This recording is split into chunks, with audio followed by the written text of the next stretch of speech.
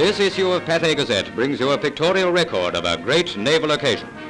Two new capital ships, HMS Howe and HMS Anson, are brought into commission.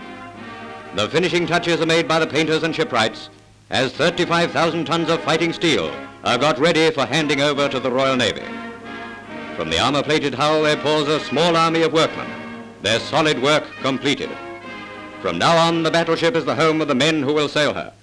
The ship's complement comes aboard. These are the men who will work and fight aboard HMS Howe under their commanding officer, Captain Woodhouse. Woodhouse of the Ajax.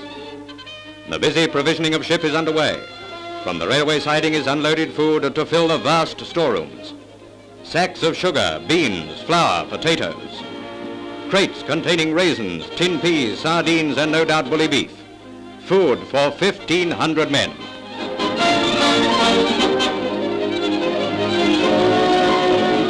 Settling down and posting aboard a new ship is a busy time. It's all very new and maybe a little strange. Now we see the actual moment when the captain takes over the ship from its builders. Rapidly the great vessel takes on its warlike character. Shells for her 14-inch guns are slung over to fill her magazines. Projectiles for her main armament. There's fighting talk in them there pills. Money, too, has a way of talking. The first pay parade aboard comes as a welcome relief to a very busy crew.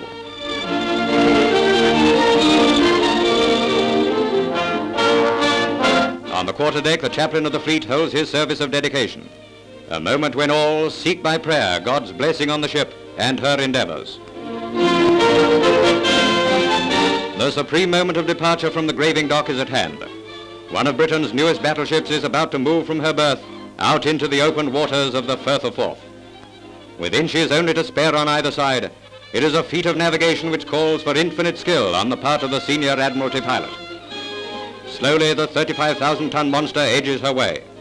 Foot by foot, HMS Howe is helped out by tugs and straining horses. The slightest error of judgment might cause serious damage.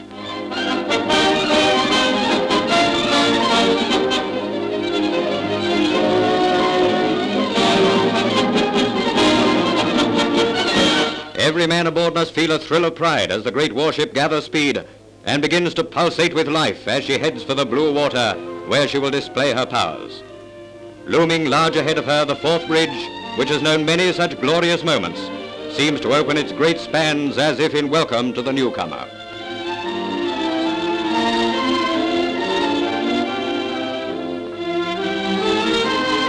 Deep in the glistening engine room, the engineers tend her with the care of mothers.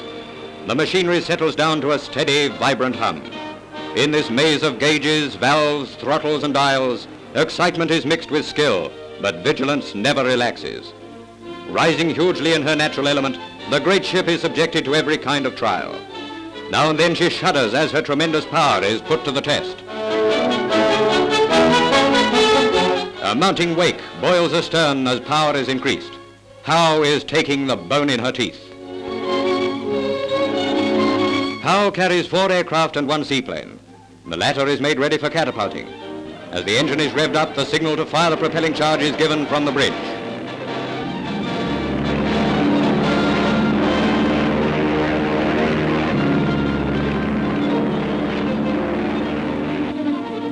The sister ships Anson and Howe mount 10 14-inch, 16 5.25 guns, four multiple pom-poms and other weapons.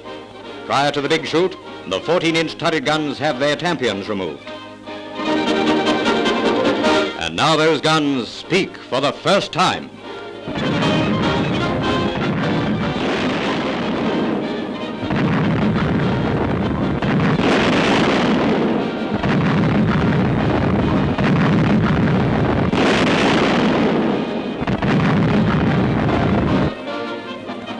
Anson and Howe are now on active service.